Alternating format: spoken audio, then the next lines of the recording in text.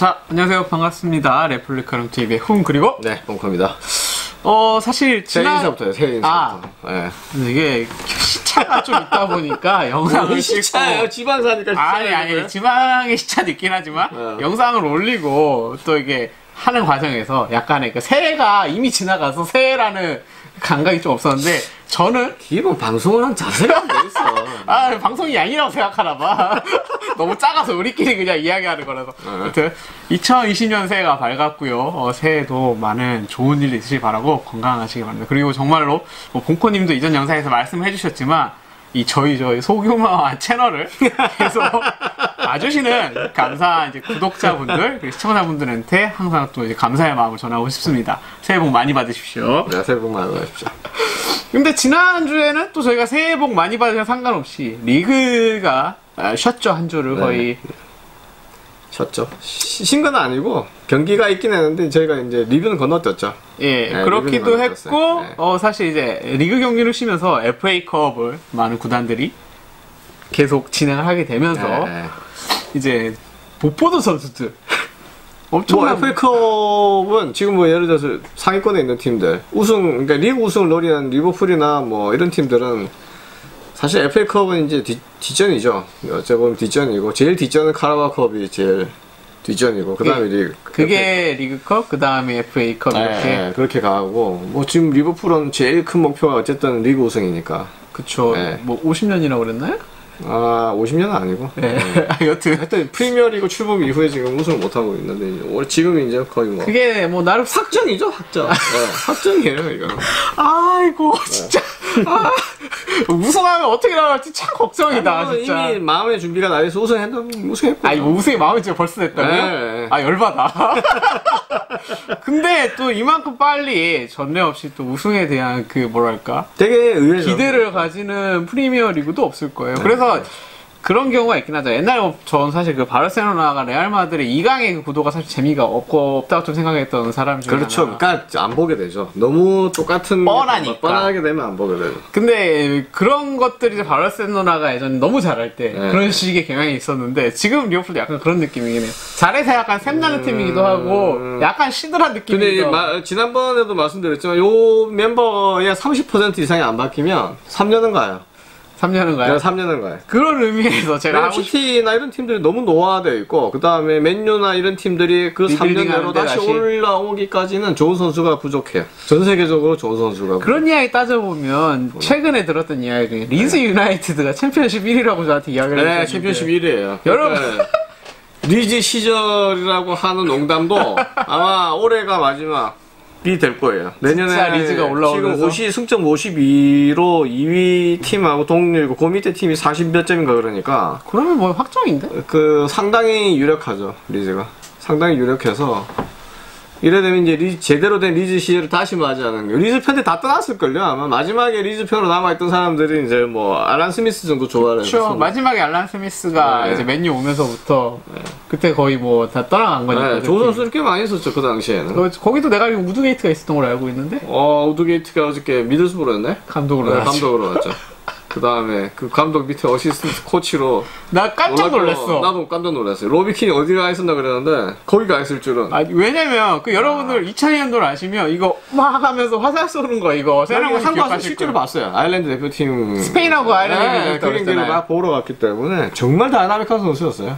일단 내 기억에 말썽꼬리 선수를 자꾸 기억하고 있어서 어, 그러니까 트러블이 약간 그러니까 아일랜드 출신들 선수들 일부 뭐 로이킨, 로비킨 아 그래서 그런가 봐. 약간 이제 더- 약간 다혈질 선수였죠.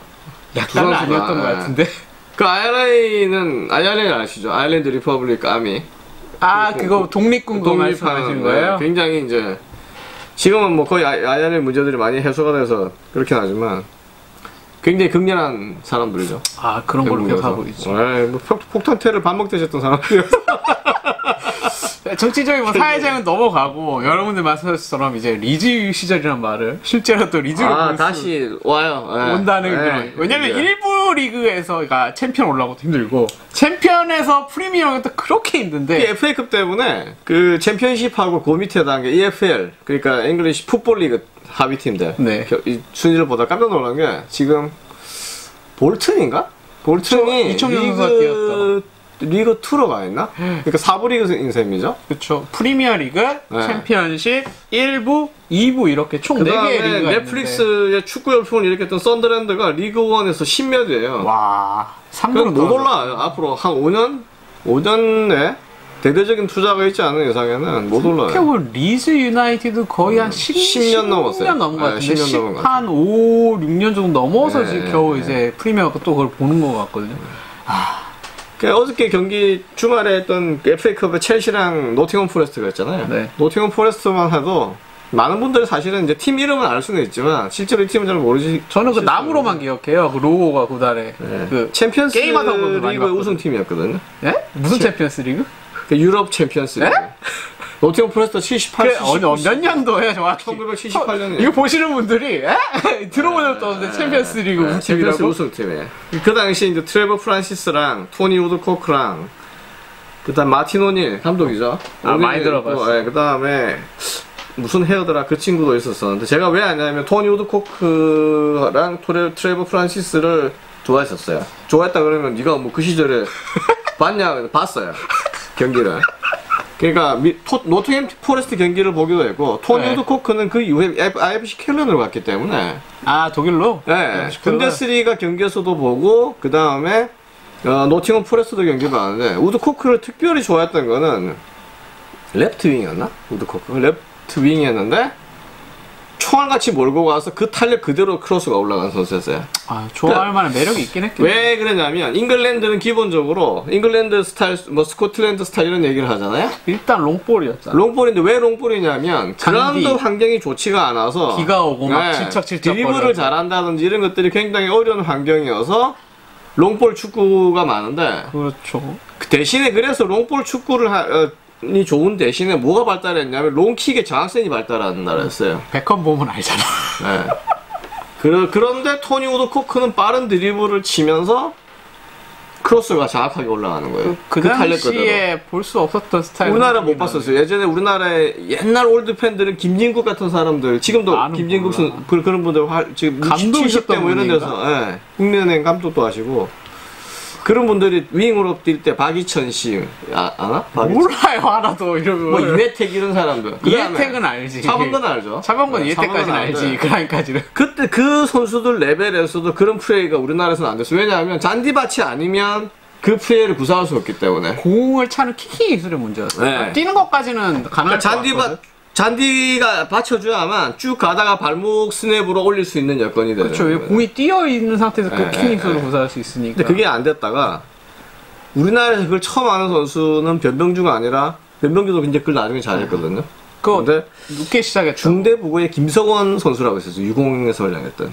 일단은 네. 모르죠. 그러니까 김석원, 근데 그 아버님은 김창기 씨라고 청소년 대표까지 감독 을 하셨던 유명하신 분인데 그 아들 자제였는데 김석원 선수가 제가 처음 봤어요. 우리나라 선수 중에는 음. 오른쪽 윙을 치고 가다가 고 스피드 그대로 연해서 크로스를 올린. 나중에 변병주 선수도 굉장히 잘했지만 그런 그런 토니 우드코크가 그 당시에 있었었어요. 그래서 첼시하고 노팅엄 포레스트 경기 좀 어떻게 보셨어요? 뭐 첼시가 어쨌든 뭐 노팅엄 포레스트 지 어, 그러니까 어제 경기를 보면 토트넘 같은 팀이 미들스브로에 아무리 적지긴 하지만 아, 좀 웃기긴 하더라고. 경기를 보면 수준 차가 나잖아요 선수들의.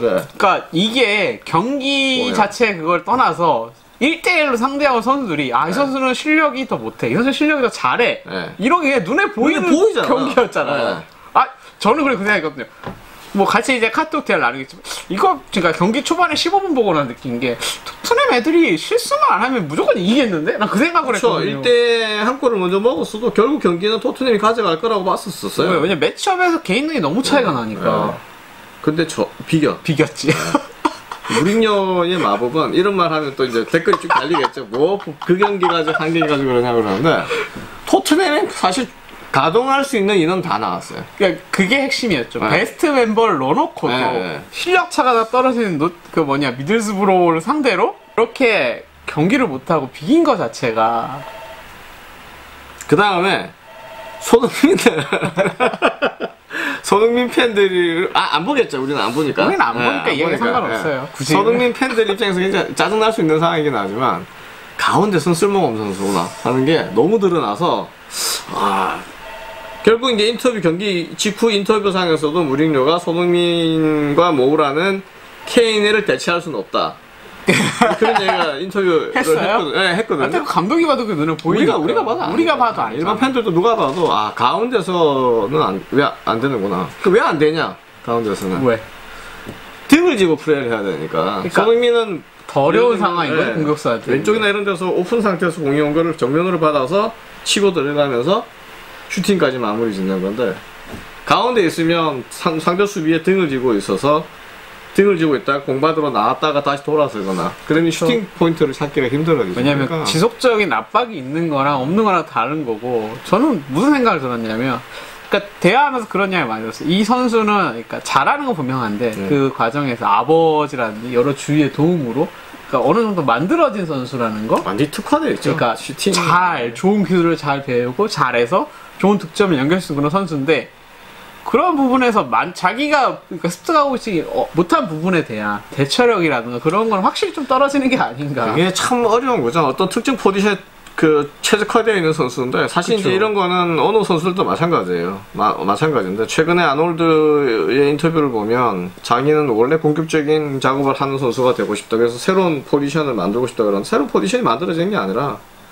그러다 보면 이제 미드필더로 올라갈 수도 있죠. 수비력이 문제가 생기면. 그렇겠죠. 수비력이 문제가 되면 이제 네, 네. 자기가 더 잘할 수 있는 더 잘할 수 있는 쪽으로 되는 가는 거니까. 거니까. 뭐 그거는 아놀드가 지금은 음, 수비 쪽에 백으로 사- 윙백으로 나와야지만 나중에는 뭐 미드필드 중에로 올라갈 수도 있고. 그렇죠. 필립 람이 그랬으니까. 네. 그뭐 이제 잘하는 선수를 어디 갖다라도 지난 잘한다. 최근에 보면 느낌. 키미도 그렇죠. 수, 수비처럼 하는데 실제로는 수비가 아니라 뭐 지난번 월드컵 때도 한국 전천후처럼. 아, 뭐 미드필드 아니라 아예 뭐 공격적으로 다 키미가 독일 대표팀 옛날에 경기 좌우를 했었으니까 그런 걸 보면 그래서 그 첼시 봤는데 일단 로테이션이 많이 들어왔는데도 제 생각에는 그러니까 선수들 레벨에 그러니까 주전과 로테이션 격차가 좀 적어서 그런가. 네, 그런 그런 점이 있죠. 바클리나 그런 선수들한테 그러니까 어쨌든 팀을 강하게 해서 노팅엄을 이기고 이기죠. 그러니까 이런 게 중요해요. 거. 예, 람파드 이런 점이 되게 중요한 거죠. 노팅엄이 지금 챔피언십 4위인가 그렇거든요. 미, 어, 미들스브로보다 노팅엄이 4, 4위인데 첼시가 어쨌든 어, 노팅엄을 잡고 확실하게 이길 경기들은 다 챙, 순수를 챙겨간다는 게 선수들 입장에서 아무리 약팀이라고도 경기에 이기는 거를 반복하는 거. 그러니까 그 그러니까- 학습이 중요해요. 예, 예, 이기는다는 이기는- 경험에 네, 대한 것들. 그것들이 계속 이어갈 수 있는 게 굉장히 좋으니까. 첼시는 그게 되고 지금 토트넘은 그게 안 되죠. 그게 안 되고 맨유도 약간 불안하고 너무 불안하긴 하던데. 완전 무기력해요. 울버스 경기를 보면 음 울버스한테 완전 당했다고 보거든요. 그 경기는 물론 어웨이 경기 울버스 홈이긴 했지만 뭐 맨유도 그쓸 선수 다 썼는데 맨유가 맨유와 울버스를 봤을 때 울버스의 뭐 예를 들면 네토 7번 그 다음에 어 네베스 네베스. 그 다음에 무팅요 아다마 아아 지금 누구지 트라우레 트라우레 그 다음에 디오 아, 도티. 도티. 예. 아 도티. 그 도티가 굉장히 잘했죠. 예, 그런 선수들이 화- 라울 곤잘레스까지 아. 교체 들어와서 한 걸 보면 압도를 했거든요, 맨유를. 근데 문제는 맨유는 최근에 뭐 이제 외부 외부 공격수를 겨울 지금 이적 시장에서 데려와야 된다 이런 얘기가 나오는데 예상대로 다니엘 제임스가 한계가 왔어요. 그러니까. 그 빠르게. 치고 들어가는 걸로 경기를 결정질 때 풀타임으로 뛰게 하면 그게 안 먹히는 거죠. 다니엘 아. 제임스가 기술적으로 제가 스피드 굉장히 뛰어나 열정적으로 플레이한다 그랬잖아요. 근데 윙 포지션에서 치고 올라가서 크로스까지 올리는 것까지는 계속 하기는 하는데 그 기술이 너무 단조롭기 때문에 아 다니엘 제임스는 제가 보기에는 그 포지션 상에서 지금 맨유의 공격을 이끌 만한 선수는 안 된다. 아. 그런 느낌을 받았고요. 대신에 그 울브스와 경기를 보면 53번인가 윌리엄스라고 수비수로 나온 친구가 경기에 많이 출전을 안 했음에도 불구하고 그 트라우레 같은 거를 막는 거 쉽지는 않잖아요. 워낙 physical도 뛰고 빠른데. 그런 선수 막으면 보통 당황하게 마련이에요. 왜냐면 근데 정보가 없잖아요. 네. 근데 대응을 잘하더라고. 그러니까 수비수로는 아마 지금은 아마 그 리버풀의 로버트슨과 아놀드 우리 한국 현, 좀 다르게 영국 현지에서는 젊은 친구들이 아마 그 사이드백 포지션, 음. 사이드백 포지션에서 아놀드와 로버트슨이 그렇게 세계적인 선수로 지금 뜨고 있으니까 영국의 수많은 EPL 선수뿐만 아니라 젊은 선수들은 이제 아마 롤모델처럼 지금 아놀드나 그 로버트슨이 되지 않나 그런 생각이 들더라고요. 그러니까. 젊은 포- 선수 포지션에 들어가면 적극적인 공격을 하고 하는 과정들이 만약에 그 람퍼스처럼 공격적인 플레이를 요구하는 사람이면 그런 플레이를 요구를 하면 선수들이 해- 그렇게 할 것이고 맨유도 그 친구도 윌리엄스도 공격 작업을 하는 걸 보고 공격 작업도 어느 정도 하고 그 다음에 수비에서도 어느 정도 하고 하여튼 그 잘하니까. 수비수의 공격적인 능력 자체가 필요성이라고 해야 되나? 네. 그거는 뭐 지금은 다 갖춰야 돼 그게 이제 안? 갖춰주면 도태가 되는 그쵸. 도태가 뛰고 뛰기 어려운 그 포지션을 요구하는. 잘하는 예. 거는 할수 있는 근데 게 물론 단순 수비를 잘하는 것도 중요하긴 해. 그래서 궁금한 게 첼시는 아무래도 FA컵까지 힘써서 계속 이기면서 이길 수 있는 경기는 다 이기고 가고자 하는데 네. 토트넘은 어려운 상태고 그 리버풀하고 에버튼 경기는 제가 당황한 게 그런 그러니까 최한 팀은 로테이션이 비슷한 데에서 이기고 가겠다라는 그런 느낌이 났다면 첼시가 예, 예. 토트넘은 아 우리 이겨볼려 했는데 와 이거 안 되는데 어떡하지 큰일이다 이런 느낌 예, 예, 예. 그러면 에버튼하고 리버풀 봤는데 예. 무슨 생각이지? 전혀 모르는 선수가. 그러니까 에버튼은 베스트 멤버를 냈는데 저도 안 몰라요 리버풀에 있는 그 어린 선수들은. 그냥 경기를 못 보니까 경기를 뭐. 못 봐가지고 저는 보면서 뭐지 내가 아는 리버풀이 아닌가 그 생각을 했어요. 교체 멤버에도 안 보이는 저 그래서 자다가 보고 자다가 보고. 자다가 보고 저도 그랬는데. 졸면서 봤어요. 뭐 하이라이트 나중에 또 보고 다시 그랬는데 무슨 의도인가요 리버풀? 우승했다고 건방져졌나? 아니 그러니까 뭐 저기 뭐지 포커스는 아. 어쨌든 EPL 우승에 맞춰져 있고 건방져지게 챔피언스. 리그는 6월 우승하겠다고. 달에 있으니까 그 다음에 이제 에버튼 정도는 머지사이드 더비라고는 하지만 뭐 에버튼 정도는 어? 내가 보기에는 수많은 에버튼 팬들한테 그거 우리나라에 없어 에버튼 우리나라 에버튼 아 팬이 없어 글쎄 댓글 달리지 않을까 없어, 그래서 없어. 에버, 에버튼 진짜 없다고? 아, 에버튼 팬이 있어도 우리, 우리 영상을 볼 일은 없어. 그러니까 괜찮은데. 에, 에버튼 내가 좋아하는 거지. 그, 뭐지? 아니 이거 자존심 상할 것 리버풀, 같던데 아, 물론 안첼로티 표정이 좋지는 않죠. 네. 아, 선수는 왜냐면 자존심 상 할 것 같아 선수들을, 그런 선수를 내고 경기를 했었으니까. 감독 입장에서 보면 상당히 기분이 좋지는 않았을 거예요. 그냥 그러니까요. 리그에서 리버풀에 집회하는 거랑 지금 그 리버풀에 출전한 게 메- 레귤러로 출전한 선수는 딱 밀러 하나고 나머지는 밀러. 근데 밀러도 금방 밀러밖에 없네 라라나 그러니까 레귤러로 네, 오리기도 교체로 비슷한 그런 비슷하고. 케이스고. 나머지는 다 아는데 나도 다 모르는 선수야. 이게 리버풀인지 아닌지 잘 모르겠어. 근데 이겼어. 아니 근데 그 에버턴은 풀로 다 집어넣었어. 애들이 열정적으로 뛰더라고 아니 기회가 왔잖아. 그러니까 기회가 왔다고 생각했나 봐. 자기를 보여줄 수 있는 기회가 그 왔으니까 느낌을 간절히 느꼈어요 저는 문제는 3년 향후 만- 예를 말하자면 올 시즌 포함해서 향후 두 시즌 더까지 멤버의 30%가 바뀌지 않으면 어. 그 잘하는 선수들도 경기 못 나와요. 그러니까 지금 어제 F에 있던 선수들이 네. 위에 기존에 살라나 피름 이런 선수를 치고 갈 수가 없다는 거지. 예, 예. 그게 그 선수들의 운명이고 어느 클럽이든지 마찬가지예요.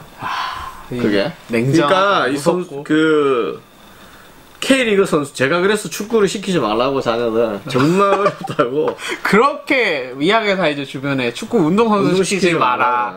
너무 너무 운동 시키지 어려워. 마라. 지금 그 친구들은 머리 막 꾸미고 멋있게 하고 다녀요. 그 다음에 지금 자기 나라의 또래 선수들이 예를 들면 첼시라든지 뭐 에버튼이라든지 뭐 아니면 맨유라든지 이런 데서 데뷔를 하고 뛰고 있으니까 그렇지 그러니까 자기 또래들이고 U, U18, U20대, U17, 18다 거쳤던 친구들이라고. 같이 만났을 거야 아, 다 같이 만났지. 만나서 하는데 그 친구들은 팀이 좋아서 운이 좋아서 경기에 나가. 그렇다고 볼 수 있긴 한데 근데 자기는 못 나가. 리버풀에 있기 때문에. 왜냐면 1위 근데 이 팀에다가 선수들이 그러잖아. 2년, 3년씩 이 여기서 리버풀에서 썩으면 발전이 없어져. 그러면 이런 말좀 그러는데 빨리 탈출하는 게 성공이야 지름길 제가 보기에는 빨리 탈출. 그래서 이강인도 어. 탈출하는 게 좋다고 보는 거예요. 아 좀 더 좋은 기회를 찾아서 얼른 축구 선수는 돈으로 물론 돈을 받아서 그 축구 경기를 통해서 밥을 벌어 먹고 사는 선수들인데 선수 생활 그러니까 B클럽에 가서 한 방에 먹고 한 방에 크게 계약금이라든지 연봉을 먹고 3, 4, 2, 3년 안에 떨어져 나가는 경우가 있을 수도 있고 음. 좋은 선수로 성장을 하면서 10년 이상 플레이를 EPL에서 있으면서 오랫동안 돈을 벌 수 있는 기회를 잡는 것도 방법인데 뭐를 않나? 뭐, 뭐가 좋은 것 같아요? 저는 뭐 일단 뭐 10년 동안이 좋은데 리버풀에서 2년 동안 만약에 오라 500억 줄게 대신에 EPL 크리스탈 팰리스에서 우리는 200억밖에 못 주는데 10년 계약하자 그러면 어디로? 아 그래서 마음은 리버풀 가고 싶은데 그러니까 그러- 그렇게 된다. 진짜 혹하는데 리버풀이랑 리버풀에 가 크리스탈 있는 팰리스랑. 선수들이 경기에 못 나가게 되면 어떻게 했냐 이거지. 2년, 3년 벤치를 계속 걔들이 지금 1군에 등록돼 있는 상태로 경기를 나오는 거거든. 아, 1군 squad에 포함이 돼 맞네. 있으면서. FA컵이니까 그래도 그 squad에 웃긴 거는. 지금 프리미어리그 2부 경기에서도 뭐 이게 2부 경기 북부 남부 이렇게 나눠져 있거든요. 거기서 시티랑 지금 리버풀이 1, 2위를 다투고 있어요. substi 그러니까 그 그렇게 이제 그 친구들이 2부로 내려가서 경기도 하고 이러겠죠. 그렇죠. 여러분들 뭐 어떻게 잘할지 모르지만 FM 같은 거 해보면, 그러니까 1부 프리미어리 팀이 있으면 그 reserve 팀을 따로 경기를 따로. 합니다. 따로 계속적으로. 돌리고 네, 따로 그래서. 그 scoring이나 기록들이 또 계속 나오긴 네, 하는데, 네, 네. 그리고 다 보고 있죠. 다 보고 그래서 잘하는 애들을 위로 끌어 올리기도 하고. 그렇죠. 왜냐면 그게 이제. 감독한테 보고가 되고 네. 선수 충원이나 그런 부분에서 계속 올리고 하는 거니까. 그래서 저는 그 깜짝 놀랐어요 리버풀 보면서 이거 방심하는 거 아니야? 너무 우승했다고 벌써 들떠 있어가지고 로테이션 막 아니지 그게 아니라 FA컵은 포기하더라도 지금 네. 포커스는 프리미어리그와 그다음 챔스 2연패로 가고자 하는 명확한 목표가 보이는 거죠. 근데 나 리그 우승 뭐라고 안 하겠는데 챔스 좀 어렵잖아.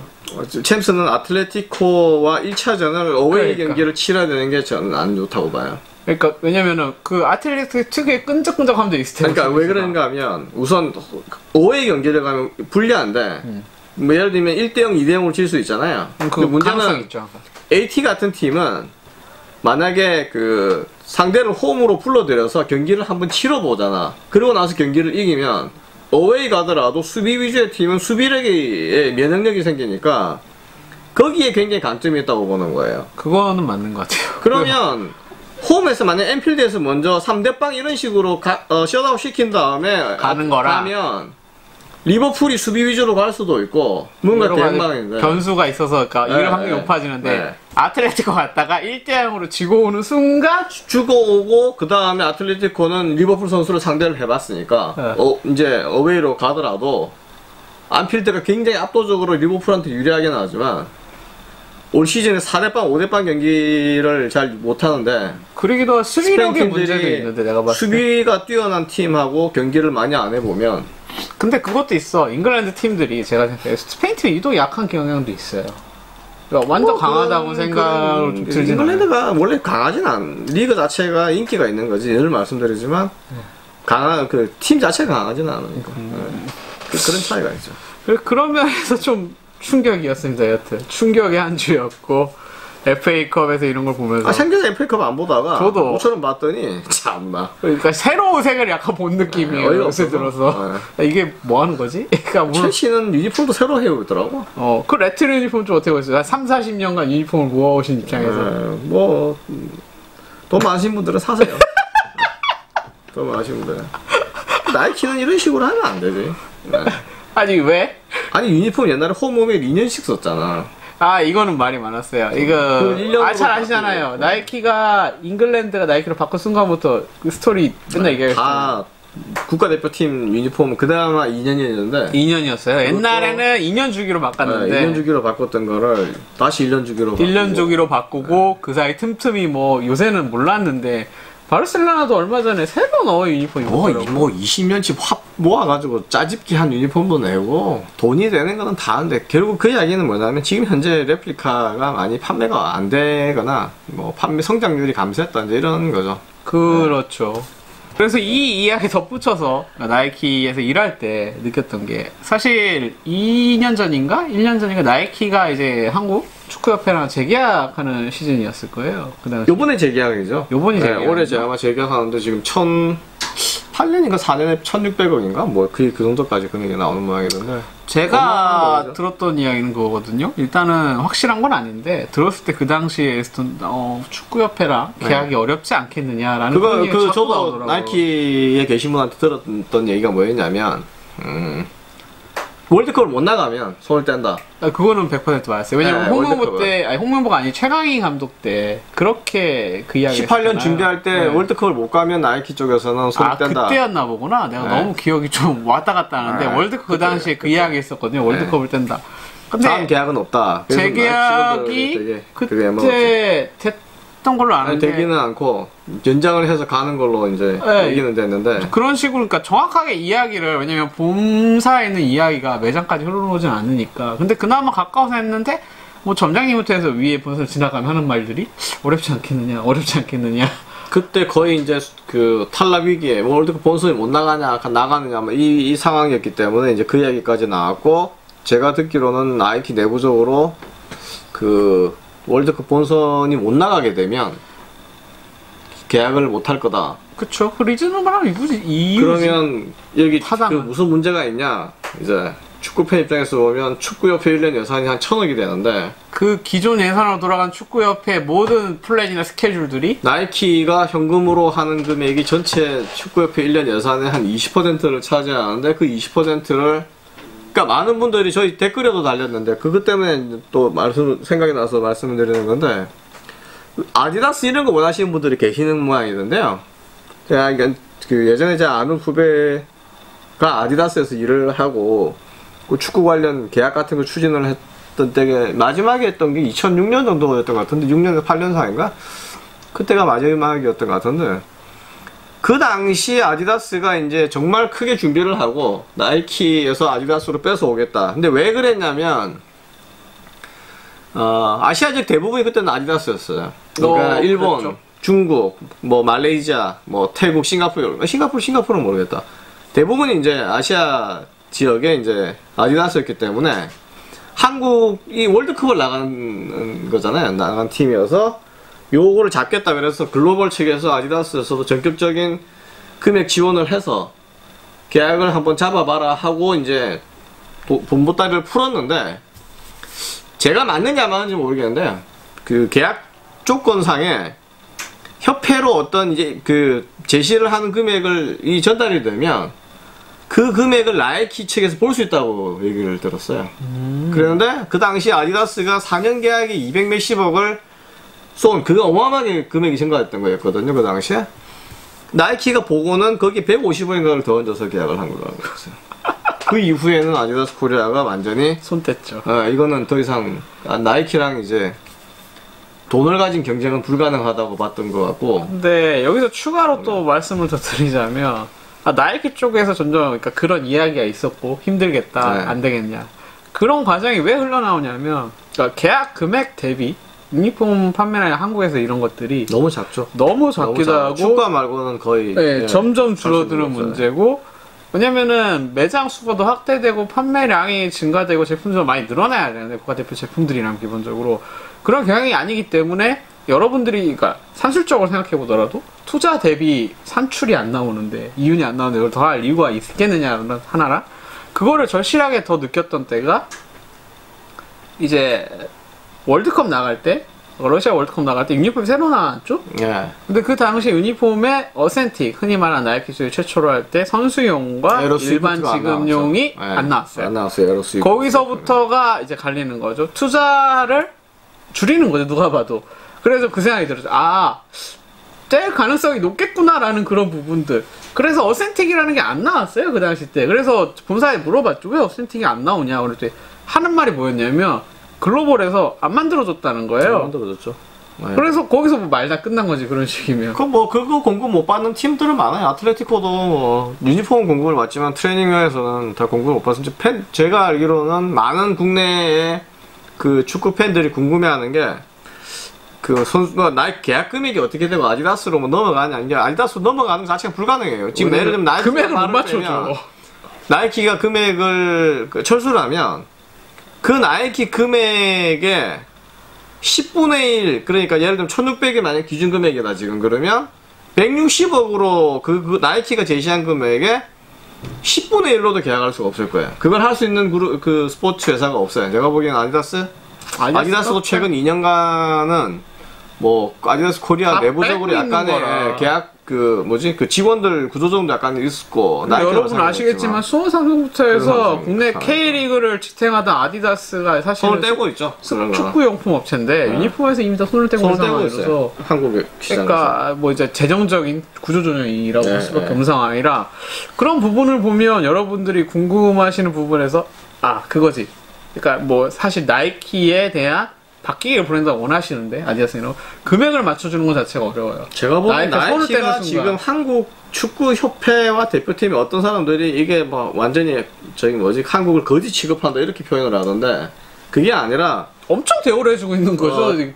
축구 협회를 거지 취급을 하고 있는 거예요. 아, 그러니까 많은 적자 그러니까 쉽- 쉽게 말하면 제가 입장에서 보면 나이키가 지금 천 몇백억을 쓴다는 거는 몇 년간에 걸쳐서 그냥 축구협회를 도와주는 거예요. 도와주는 거지. 네, 그러니까 정말 도와줘. 왜, 금액적으로 왜 그러냐? 지원을 하는 거지. 지금 일본하고 아예 동북아시아 시장뿐만 동남아를 다 포함했을 경우에 나이키가 지금 중국 리그 전체를 다 하고 있고 손뗄 만한 명분 예, 있잖아요. 싱가포르 뭐 이런 데도 지금 아, 오- 호주 또 하고 있는데 문제는 뭐냐면 월드컵에 진출할 수 있는 팀이 중국이 안 되기 때문에 그건 그렇네. 예, 한국을 아시아 시장에 잡을 수밖에 없는 상황이 됐어요. 근데 저는 그새 무슨 생각을 했냐면 이제 뭐 여러 가지 나이키 행보가 네. 매출을 위한 여러 가지 포커스로 네. 이렇게 다 맞춰지고 있거든요. 매장에 가서 느끼는 것들이.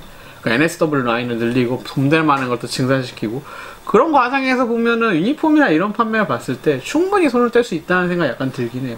그리고 이제 여러분들이 궁금하신 게 아까 이제 홍코님 말처럼 그러니까 티어별 등급 같은 게 있지 않냐라고 하는데 그거 있겠죠? 분명히 예, 등급 같은 게 있긴 있겠죠. 있어요. 왜냐면 나이키 매장 운영할 때도 나라별로 매장에 대한 등급의 차이가 있기도 하고 영국의 이제 나이키 그 뭐라고 하나 빌딩이라고 하죠. 예, 예, 나이키 여기 타운. 나이키 타운 같은 게 있는 것처럼 그 매장 같은 것도 이제 tier가 있긴 합니다.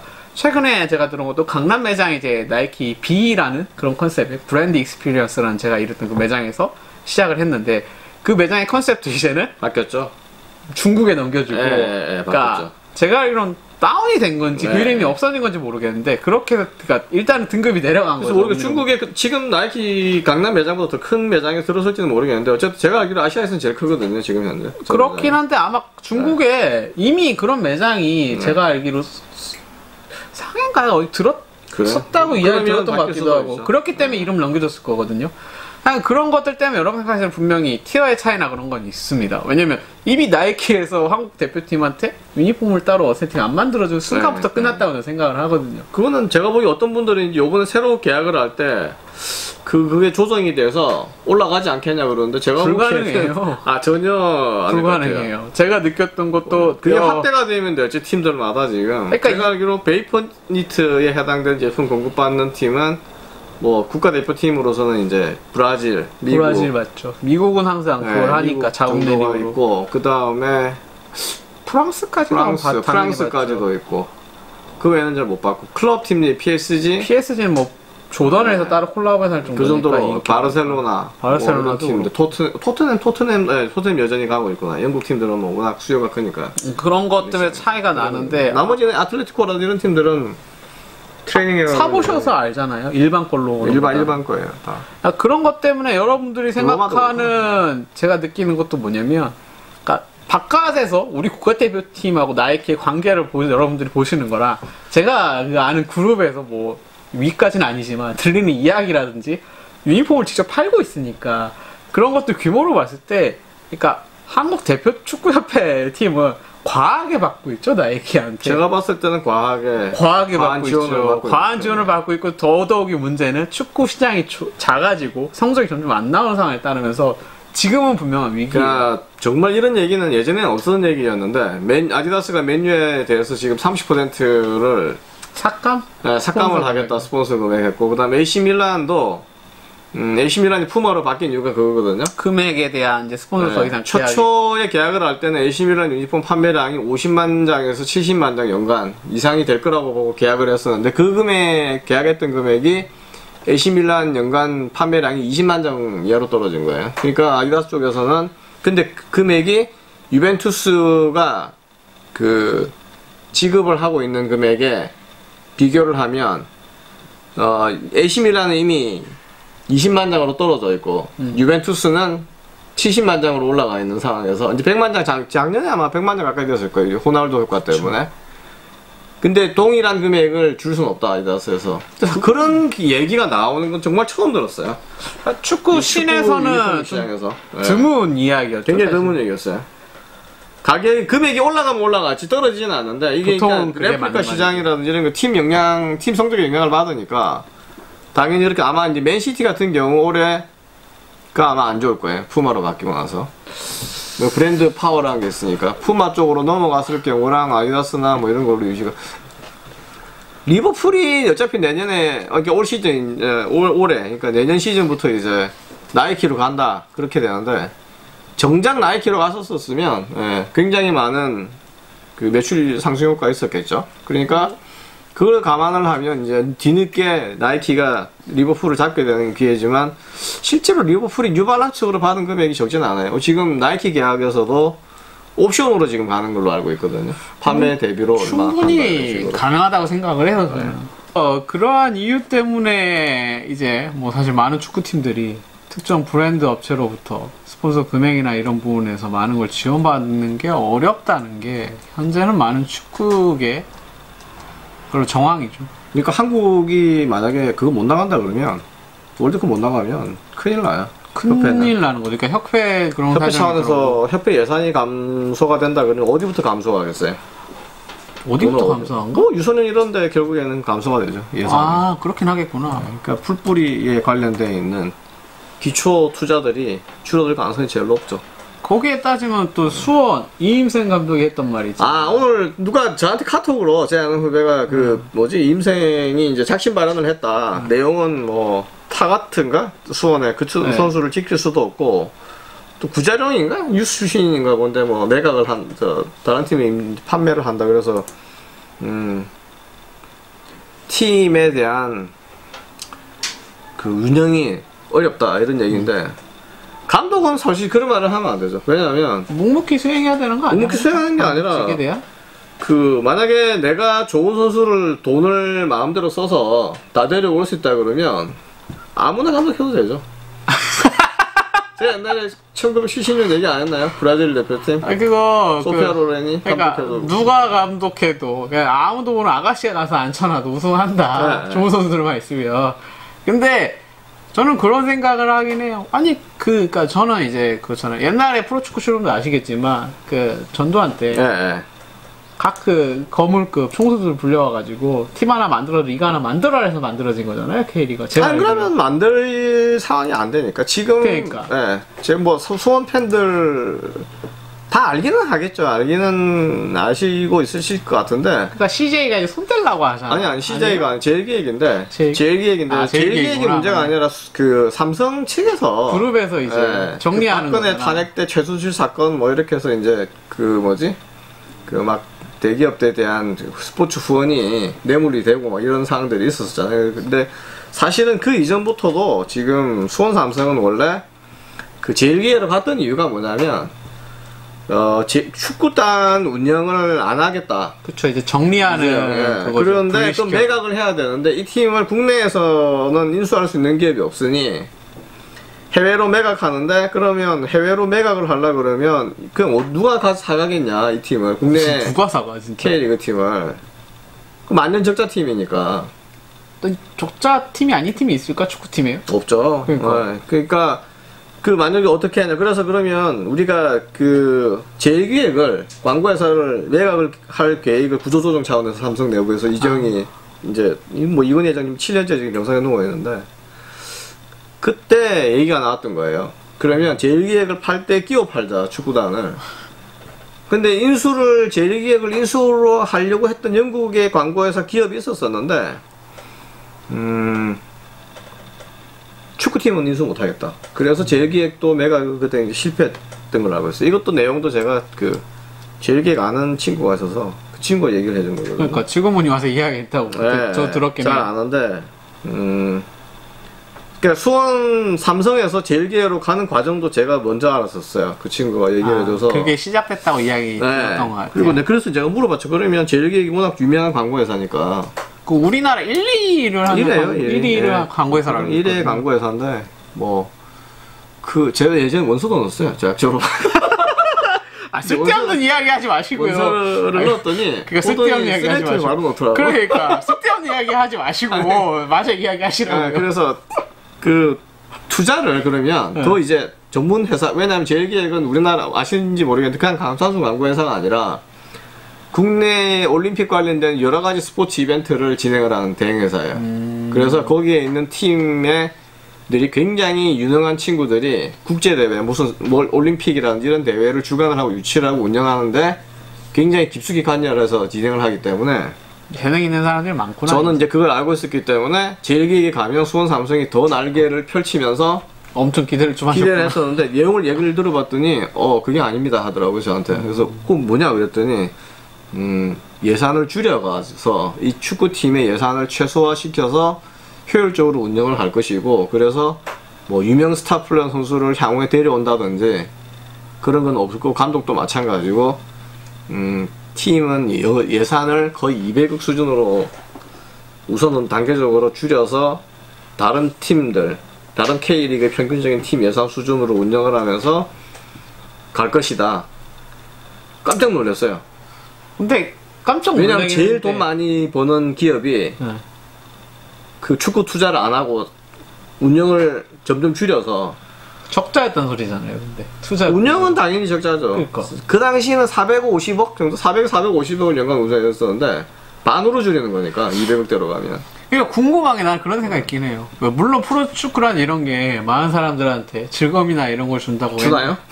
해- 나는 아니라고 생각하긴 하는데 K리그를 저는 안 봅니다. 많은 K리그 팬에게 더좀 보러 갔잖아. 아니, 나한테 뭐- 끌려가서. 끌려가서 친구들이 가장 가는데 그걸 많이 보진 않아요. 그러니까 그래서 K리그 팬은 즐기시는 분들의 죄송스러운 마음이긴 하지만 네. 리그 자체의 그러니까 선수들의 연봉부터 해서 그 구조 자체가 그러니까 좀 비효율적? 어떻게 말하나? 시장 경제에서 맞지 않은 논리와 관중 수입으로 유지될 수 없는 이 독특한 구조라고 생각을 맨날 하고 있거든요.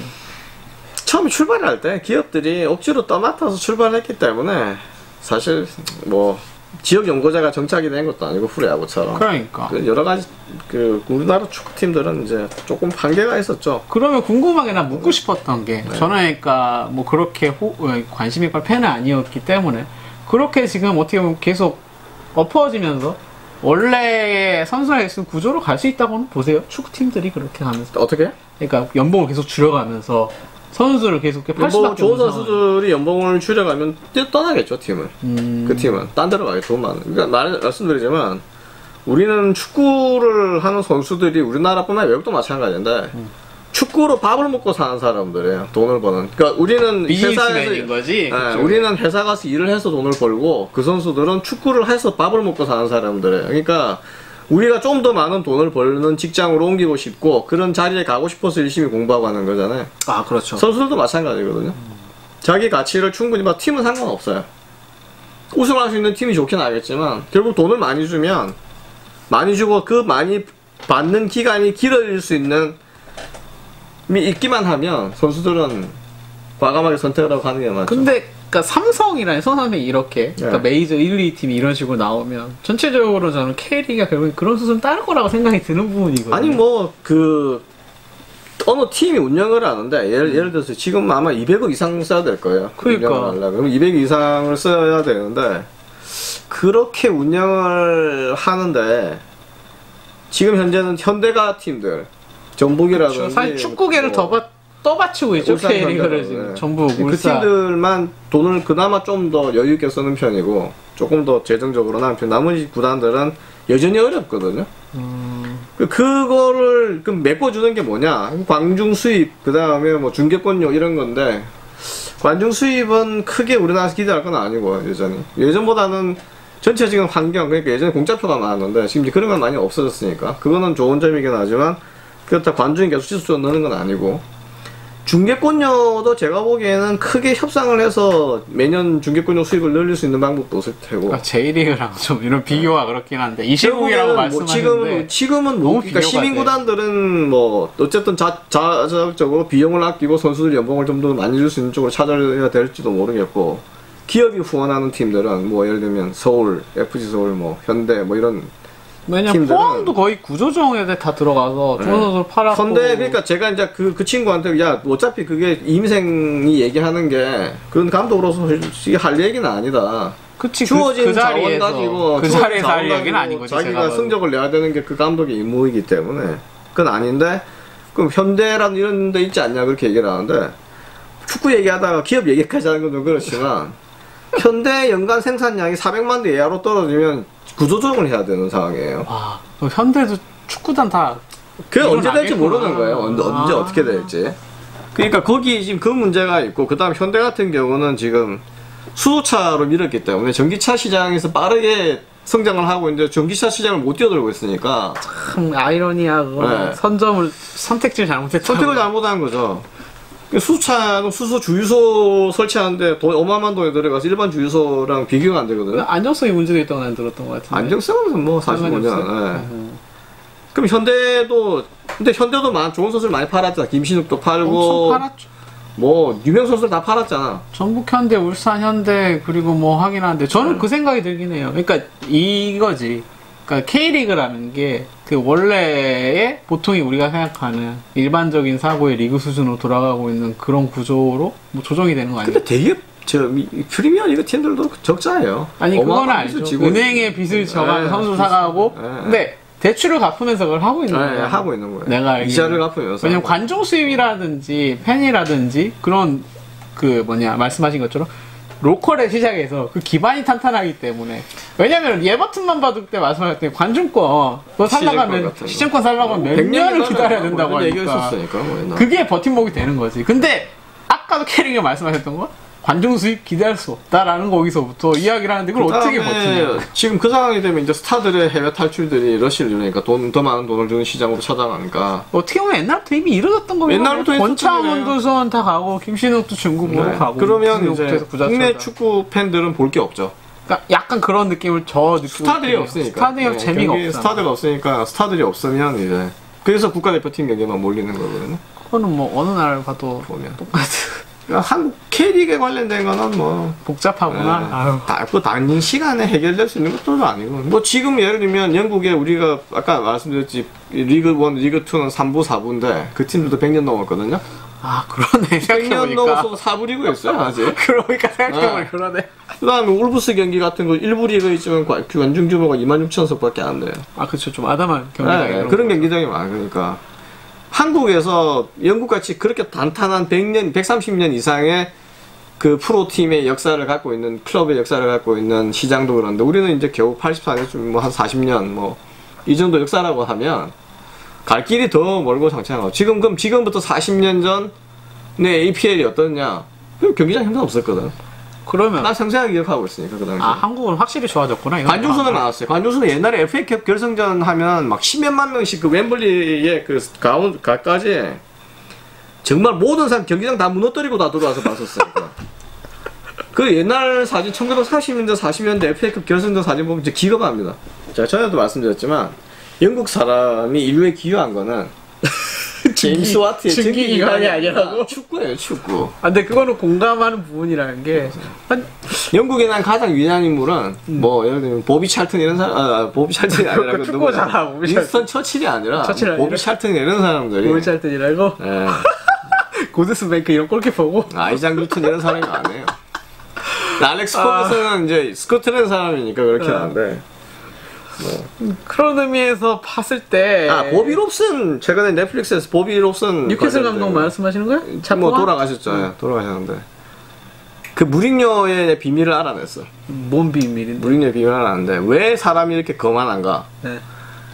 그 보비 롭슨의 그 전기 영화를 보면 포르투에서부터 시작을 영화 영상이 바르셀로나 포르투 시절을 시작을 하거든요. 네. 그 옆에 항상 무링요가 따라다니는데 오늘날의 무링요가 왜 기자 그러니까 사람이 약간 오만해 보이고 건방져 보이고 건방져 보이고 거만해 보이고 그런 거 느낌인데 아 이 무링요가 그 보비 롭슨 그 통역을 하면서 보비 롭슨처럼 행동을 한 거예요. 그 아. 영상에 영상에 생생히 담겨 있는 거 보고 깜짝 놀랐어요. 보비 롭슨도 그런 스타일이었다는 거예요? 아니 보비 롭슨 굉장히 소탈한 좋은 사람이지. 좋은 사람인데 자기가 마치 전달을 자기가? 마치 감독인 것처럼 아, 모두 사람 그, 그 무링요의 버비 롭슨 옆에서 인터뷰를 하고 이동을 하거나 할 때 처음 여- 바르셀로나로 올 때부터 다시 포르투로 갔을 때 그 다음에 뭐 그 무리 저기 그 롭슨의 수행을 하면서 있던 과정에서 표정, 몸짓 이런 것들이 지금이랑 똑같아요. 그때부터 그냥 자기가 감독인 마냥 그랬던 네. 거구나 와, 깜짝 놀랐어요. 그거 보고. 그, 만약에 여기 시청하시는 분들 혹시 넷플릭스 보시는 분들이 있으시면, 그 영상 보비 롭슨 영상을 꼭 보, 시기를 강력 추천드립니다. 그 무링류의 비밀이 그 영상에서 다 나와요. 비밀이다. 신기한 이야기네. 거기 어 깜짝 놀랐어요. 아 무링류가 마치 자기가 바르셀로나에서 감독처럼 행위를 했구나. 왜냐면 자기 벤치에서. 입을 통해서 모든 지시가 다시 나오는 예, 거니까. 예, 예. 그래서 자기가 정말 감독인 것처럼 행동을 하고 근데 그 버비 롭스는 무링요에 대해서 그렇게까지 생각을 못했지만 무링요를 걔 너무 좋아했었어요. 아 사람적으로 사, 좋아했어요. 아, 인간적으로. 그러니까 인간적으로. 그 버비 롭슨이 정말 죽을 때까지 좋아했던 사람이 둘이가 있는데 무링요랑 그 폴 게스코인. 아 좋아했던 사람이 네, 네, 좋아했던. 사람. 네, 그것도. 오해다. 게- 그래서 게스코인의 인터뷰들이 꽤 많아. 이빨 다 빠져가지고 지금 게스코인이 아. 초라하게 늙었는데 정말 그 그거는 꼭 한번 추천드립니다. 넷플릭스에 롭슨. 뭐야 이렇게 해놨지? 이게. 그 무슨 이야기를 하다 이렇게 K 하시고 모르 K가 아, 뭐 K. 이야기하고 선수 이야기하다 여기까지 하는데 계약 그 유니폼 계약부터 하다가 오늘 그냥 신년 대담이에요. 그 리뷰도 신년 대담이 대담이죠. 뭐 리그 분위기들, 네, 뭐 네. 팀들 그렇게 보면서 과연 어떻게 될 건지 새로운 분위기들. 아 어느 분이 나이키 직원들 뭐 나이키 이거 이런 것도 아 나이키 직원이 아니었구나 윤주님이라고 저희 구독자분이 계신데 축구 관련 산업에 대한 얘기나 아니면 직업에 대한 얘기를 얘기를 했는데 제가 근데 여기서 단호하게 말씀을 드리면 어, 이제 본코 선생님께서 말씀하시듯이 네. 어, 축구 선수 하지 말라고 그러잖아요. 저도 하지 말라고 말씀을 드리고 싶어요. 여러 선수? 아니 아니 그 축구 선수를 축구 하지 말라는 직종? 것처럼 축구 아, 직종에 직종? 관련한 아, 말을 축구 직종 왜냐면 음, 뭐 좋아하거나 그쪽에 진출하고 싶어 하시는 분들은 충분히 많죠. 왜냐면 축구라는 그 열정적인 산업 그 스포츠를 보면서 뛰어들어가는데 실제로 여러분이 생각하시는 것보다 국내 축구 산업이라든지 거기로 이어질 수 있는 직종 자체가 어, 적은 게 사실이고요.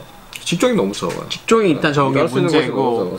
직종이 적은데 거기에서 여러분들이 생각하는 것처럼 여러분들이 생각하는 직종의 업무가 아닌 게 첫 번째고요. 나이키나 아디다스를 가시더라도 본사를 간다 가다 하더라도 여러분이 생각하는 직종의 그런 부분이 아닌 부분인 것도 맞고요. 음 최근에 이제 국내 뭐 축구 관련 학과도 있고. 어 네, 근데- 그렇긴 하지만. 제 아는 애들도 대학원까지 명지대 데이터 분석 전공한 친구도 있고 그 다음에 축구 학과를 나온 친구도 있고 운동했다 그만뒀다가 이제 그렇게 했던 친구도 있고 음 이- 많은데 그 그리고 왜 그거 어, 뭐지? 최근에 무슨 축구 뭐 예를 들면 관련 직업 그 하는 거 뭐 어디? 뭐 코엑스에서 박람회 같은 거 했었다고 난 들었던 것 같은데 저번에 댓글 서영욱이나 이런 사람들 뭐 이렇게 나와서 뭐 하고 하는 거 있잖아요. 돈 받고 얼마 모여서 회비 내면 뭐 그런 것도 강좌 있어요? 광자 몇 개 이렇게 들을 수 있는 거. 각 분야에 이제 뭐 해설을 하시는 분 에이전트 하시는 음. 분들 뭐 이런 분들 와서 모르겠습니다. 거기서 어떤 내용을 다뤄지는지는 잘 모르겠지만 기- 너무 그 취업을 할 수 있는 것이 없기 때문에. 제가 생각한 그거고 뭐 간략하게 여기서 말씀드리자면 일단 여러분들 생각하시는 거와 달리 일반 매장에 취업하신다고 하면 매장 직종에서 물건을 파는 걸로 끝나는 수준이에요. 이런 말씀을 좀 뭐 어떻게 해야 되나? 이렇게 저 너무 기대를 떨어뜨리는 말이 아니 근데 뭐 브랜드 좋아하는 친구들 저도 예전에 아디다스에서 일하고 하고 싶어 아디다스 본사도 찾아가고 네. 대학교 막 그런 적 있었으니까 물론 본사 큰 본사직이긴 하지 매장직은 아니고 그래서 매장에서 일을 했는데 제가 일했던 나이키 강남 매장조차도 엄청 특별했고 엄청 많은 서포터와 지원을 받아냈음에도 불구하고 네. 그냥 크게는 여러 가지 실현할 수 있는 건 많아요. 그래서 시스템을 배우거나 대기업 쪽에 나이키 이런 것들 배운 것들. 그렇지만 결국엔 끝에를 가면 그 매출을 올려야 되는 직종으로서 매장에서 일해야 되는 책임이나 임무가 가장 크기 때문에 어, 거기로 귀결되는 부분들이 확실히 있어요. 그건 이제 장사를 해보니까. 더 아실 거 아니에요. 네. 그러니까 매장직에서 그 다음부터 여러분 느끼실 수 있는 게 매장직에 좀 이제 힘든 것들, 서비스업, 사람 상대하는 그런 부분에 부딪힐 수 있다는 거고 그러니까 여러분들이 그 회사에 들어가서 막 꿈같이 내가 뭘 핸들링하고 뭐 이렇게 생각할 수 있는데 나이키 본사를 가더만 하더라도 본사에서 하는 일은 기본적으로 글로벌에서 내려온 지시를 이행을 해서 그것들을 매장에 뿌려주는 일입니다. 제가 들어봐도 그런 것들 이래서 여러분이 생각하는 창조적이나 creative한 나이키. 직원들의 재직 증명서가 어디서 오죠? 어, 이그 싱가포르에서 시스템이 싱가포르예요. 그러니까. 저희가 본사 쪽에. 위에 재정부에다 요청을 하면 싱가포르 쪽에 그 headquarter가 있어요. 글로벌. 아시아. 아시아 headquarter가 있어. 그쪽에서 그거를 이제 뭐 한글 그 뭐냐 free interpreter라고 그러나? 이런 생각이 안 하니까 번역을 자동으로 해주시는 그런 분들한테 통해가지고 저희 쪽으로 오는데 뭐 영문이라 하면 그렇게 오는데 그러니까 본사에 계시는 분들이 좀 그러니까 나이키에서 제가 들었던 친구는 뭐냐면 물건을 수주하고 그거를 해서 뿌리고 뭐 여러 가지 기타 외적으로 뭐 선수 계약이나 연예인들 홍보 가는 쪽 그런 팀 쪽으로 있긴 하지만 실제로 여러분이 생각하는 만큼 뭐 달콤하고 아, 물론 대우나 그런 거 좋다고 들었습니다. 그렇지만 그런 근무 환경은 거는 되게 좋죠. 근무 환경은 그런 것들은 물론 이제 여러분이 생각하시는 만큼 아니다. 근데 확실한 거는 본사로 갔을 때 근무하는 것도 확실히 좋고요. 매장 직원에, 그러니까 나이키 직영 매장이나 나이키 코리아에 속해 있는 매장에서 근무하시면 다른 매장 직원들에 비해서도 여러 가지 혜택이나 그런 이제 뭐 나이키 관련해서 주식도 살 수 있는 나중에 뭐 요건 네. 따로 한번 해야 돼요. 하긴 하는데 그런 부분에 대해서는 분명히 많습니다. 근데 다른 뭐 시급이 얼마고 뭐, 뭐 어, 근무 그런 것까지 또 기존에 일하시는 분들이 있기 때문에 아니 사람들은 궁금해요. 궁금해하긴 하는데 뭐 제가 예전에 네, 급여명세를 받았던 걸 까가지고 뭐 이야기를 해줄 수 있을 최근 것 같아요. 거 저기 있는 친구들한테 받아서 그거는 줄지 모르겠어. 개인적으로 다 꺼려하기 때문에 그렇긴 한데 여러분 생각하시는 만큼 아까도 말씀했지만 이 시장의 규모라든지 그 안에서 여러분이 생각하시는 업무 부분들이 일단은 다르기 때문에 저도 말했지만 권해드리기 어려워요.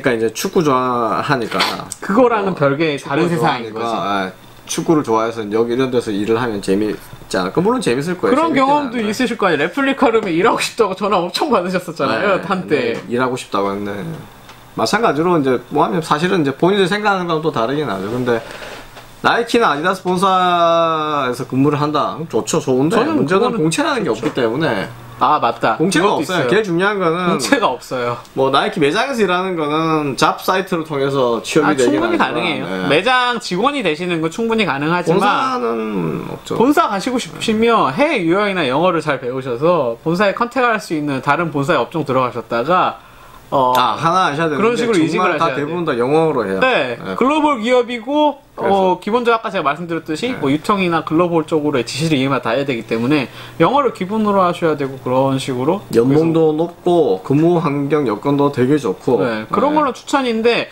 여튼 뭐 제 개인적으로는 뭐 매장 직원에서 일을 하는 거 자체는 대우는 좋긴 하지만 그 매장 직원 일해 보신 분은 아실 거예요. 그 손님을 맞아 사람 상대한다는 게 쉽지 않기 때문에 그러니까 제 친구들 지금 계속 일하고 있는 친구들도 있지만 어려움을 통하는 친구들이 많아요. 그런 부분에서. 그래서 여러분이 일단 생각하셔야 되는 거는 뭐 간략하게 뭐 말씀드리자면 추천하지 않는다. 쉽지 않다. 뭐 어떤 일이 안뭐 그렇겠냐만 열심히 노력을 하셔서 본사로 가라. 뭐 전공 이런 거는 사실 상관이 없기 때문에 전공 상관없어요.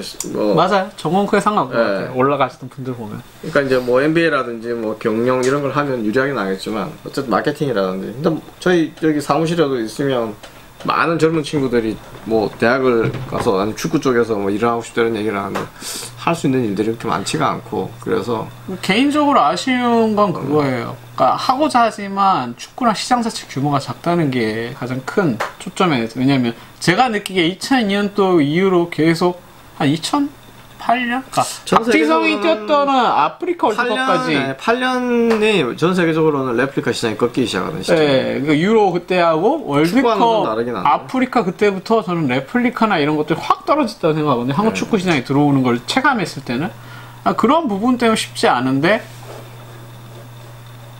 그래서 여러분들한테 또 추천하고 싶지 않은 이유가 그런 때문에 더 그런 거예요. 눈에 보이니까 그런 수가 아무래도. 있죠. 네. 그러니까 요거는 나중에 아마 후님이 월급 급여 명세서 갖고 와서 나이키가 근무 당시에 어떤 조건으로 근무 그러니까 아마 궁금해하실 분도 계실 거예요. 그래서 아 그거는 제가 해드렸어요. 네. 제가 예전에 받았던 급여 명세 왜냐면 제가 그거 가지고 들어갔던 나이키에서 게 일하면 얼마 정도 받을 수 어. 있는 최근 정보하고 업데이트를 하면 되니까 그건 따로 많은 궁금해하실 분들이 분명히 뭐 최고 시급이 올라갔기 때문에 지금 더 네. 일하는 사람도 많이 받을 테고 그런 것 때문에 뭐 그렇지만 아무래도 일단은 추천드리고 싶지는 않습니다. 궁금하시거나 그 산업 구조는 사실은 뭐 되게 좁고 작아요 생각하는 것보다 네. small world라고 그러잖아요 우리가 여러분들이 보고 어떤 세상보다 실수로 와서 아 이런 세상이구나라고 느낄 수 있는 거죠. 에이전트 에이전트도 우리나라에서는 힘들고 기자 기자는 뭐 인터넷 기자는 걔는 저한테 돈이 안 되는 거고 그것도 알면 알면 아마 깜짝 놀랄 텐데 풋볼리스트라든지 뭐 스포탈 이런 데서 뭐 기사를 얼만큼 써서 얼만큼 몇 년 지나야 얼마를 벌 수 있는 이런 거 알면 그러니까 저도 그런 게. 올드푸시에서 일했던 친구가 결국에는 저희 나이키 쪽에서 매장에서 일하다가 네, 아르바이트 투잡을 했거든요. 네, 네. 영상을 찍었던 친구인데 네. 결국에 올데푸츠가 하다가 뭐 돈이 더 안 돼서 나이키 정직원으로 들어와 지금 나이키 계속 잘 일하고 있거든요. 그 직영 아울렛 쪽에 가서 네. 그런 거 보면은 진짜 열악한 거죠. 그 친구 축구를 좋아해 시작했다가 지금은 그렇게 된 겁니다. 그러니까 축구 좋아한다는 걸로 해서 직업을 삼는 거는 정말 어려운 거. 그렇게 하시면 될 것 같아요. 네. 그 다음에 그 신년에 최근에 또 그 댓글 중에 인상적인 것 중에 한두 개가 사이즈 관련된 문의. 저한테 본인이 운동화는 뭐 얼마를 신고 축구는 얼마를 신는데 뭐를 신어야 되느냐. 전 사실 전 모르죠. 왜냐면 저도 그분- 몰라요. 저도 몰라. 그런 말이 아니고 발의 족형, 그 다음에 신발의 last 이런 것들이 워낙 개인들마다 차이가 있으니까 그 사이즈를 쉽게 추천하는 그래서 이제 저는 뭐 어떤 모델은 뭐 어떤 모델은 뭐 해서 내가 네다섯 가지 정도 현재 착용 중인 모델을 가지고 그러니까 여러분들이 알려드리거든요. 비교군을 많이 해서 최대한 여러분이 선택할 수 있게 사이즈 오류가 안 나실 수 있도록 네. 공커님은 보통은 내가 이런 이런 종류의 신발을 몇을 신고 이걸 몇을 신다고 하면 근데 그런 분들 많으세요. 자기 실제 발 길이가 얼마에 음. 그 다음에 발 요 폭이 얼마다 이렇게 해서 난뭐 신어야 될까 이렇게 얘기를 하는데 좀 모르죠. 근데 그 사실 말하면 이게 뭐냐면 발은 입체적인 거예요 여러분들 그러니까 단순하게 그것만 가지고 알 수도 그러니까. 없을 뿐만 아니라 제일 중요하게 여기는 것 중에 하나가 족형이기 때문에 족형 신발의 last 모양과 내 발의 족형 사이에 그게 match up이 되게 중요하다고 문제지. 생각을 하고 기본 족형만 하더라도 네 가지 정도는 뭐 Roman형, Greek형 뭐 이런 것들이 있으니까 발의 모양이 다른 거죠 네. 정확하게는 그러면 그 다음에 이제 평소에 운동화 축구화를 신는 습관 지금도 5mm up 하는 건 잘 이해가 안 돼요. 사실 저는 네. 다치기 전까지는 업을 안 했어요 왜냐면 네. 파루카스를 뭐, 파, 파루카스. 파루카스 터프를 신었을 때도 네. 거의 발이 맨날 신을 때마다 낑겼거든요 네, 네.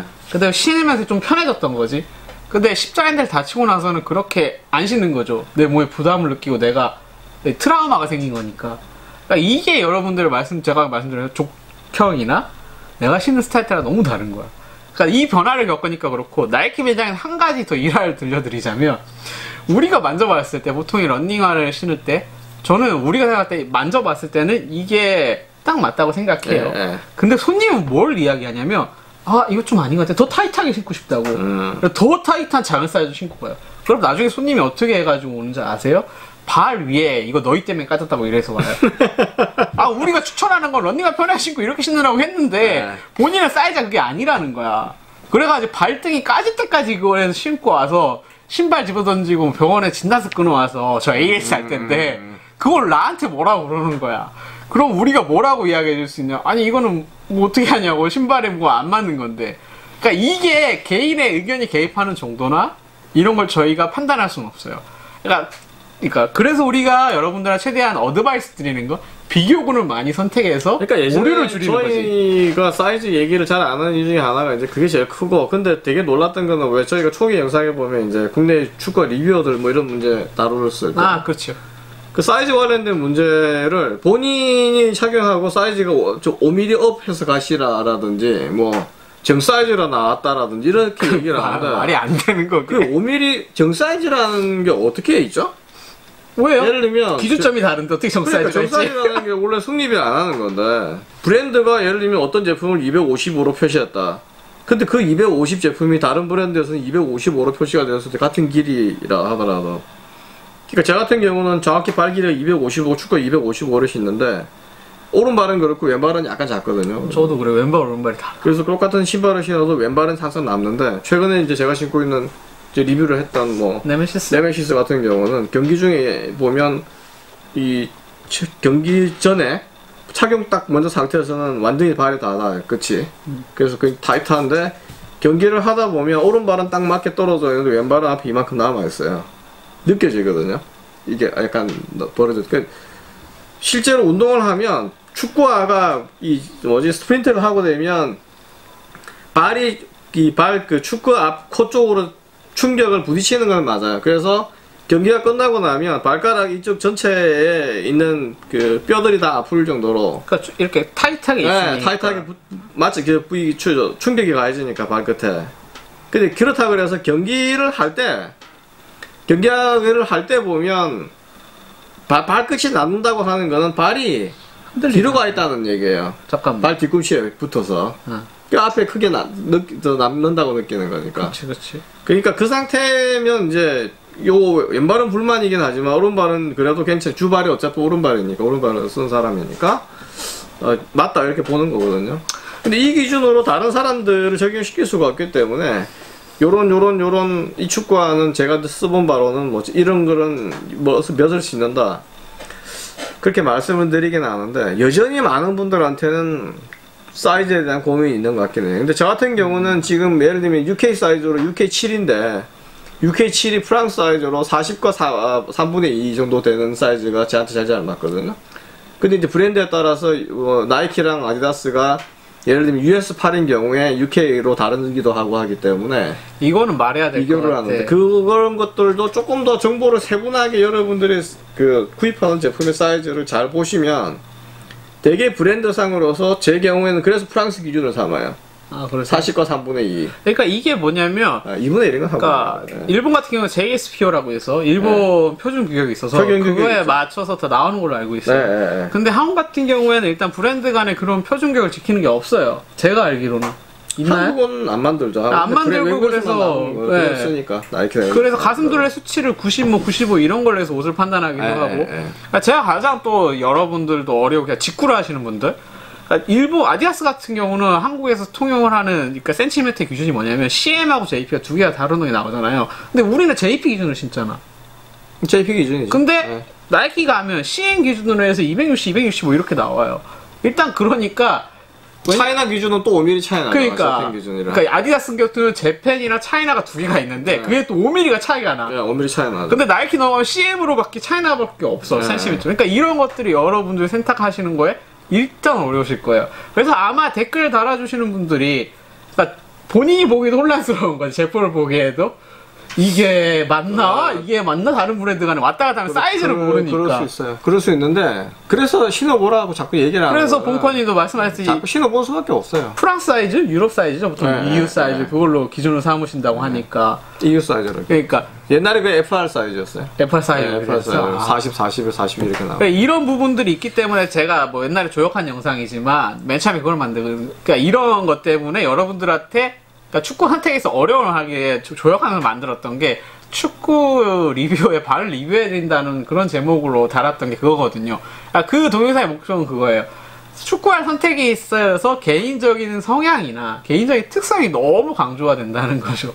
그래서 여러분들이 정말 축- 그러니까 축, 이 경기 어. 목적의 특수화는 일반 운동화랑 다르기 때문에 맞아 그것도 네. 말해야 돼. 축구하는 특수화, 특수화예요. 경기 특수화인데 보통 사람 너무 흔하게 우리가 운동을 하니까 이제 그냥 일반적인 데처럼 생각하는 축구화를 그냥 보편적인 신발처럼 생각을. 하시는데 축구화 밑에 그 뽕이라고 부르는 스파이크. 스파이크가 스파이크 그게 외국 일본은 아직도 스파이크라고 그러거든요. 아 그러더라고 네. 스파이크화라고 표현하긴 네, 하더라고요. 네. 그러니까 밑에 이제 그, 그, 그 스터드가 붙여있는 그 스파이크라고 그러는데 그런 특수화를 신는 게 쉽지는 않죠. 그게 이게 이게. 정론이지 쉽지 않다 특수화라는 게. 그거를 어떻게 신느냐, 딱 맞게 신느냐, 아니면 약간 여유 있게 신느냐, 그 개인에 따라 다 다를 수가 있고, 한 거에서 사이즈에 관련돼서는 저희가 쉽게 얘기를 못 하죠. 그러니까 뭐 255, 예를 들면 4mm씩 이렇게 신는다고 해도 오른발 잡으면 왼발은 안 맞으니까. 그렇다고 이게- 내가 왼발 제 특수 제작해서 신을 수도 없는 거고. 이게 재미난 경우에 뭐냐면 제가 매장에서 일할 때 나이키 강남 매장이라는 게 그러니까 파급적인 효과가 처음에 있었던 게 그러니까 brand experience라고 해서 매장에 와서 제품들을 경험하면서 소비자가 구매를 하는 거예요. 네, 네. 어, 아디다스인데 없었어요, 최근에. 최근에 없앴어요. 네, 거기 신도년 매장에 갔더니 네. 그 지원이 없어졌더라고요. 그러니까 이제. 내가 봤을 때는 나이키. 쪽도 그런 걸 없애는 상황이고 네. 그런 걸 줄이는 상황인 것 같아요. 근데 그러니까 축구화랑 특수화를 구입하시는 분들 중에서 저희 매장에서 처음에 왔다가 계속적으로 오셨던 분들은 뭐냐면 그러니까 저가 직원이잖아요. 손님이잖아요.